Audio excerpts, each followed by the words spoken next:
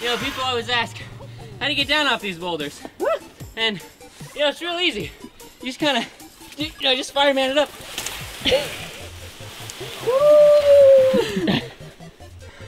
Simple. No problem.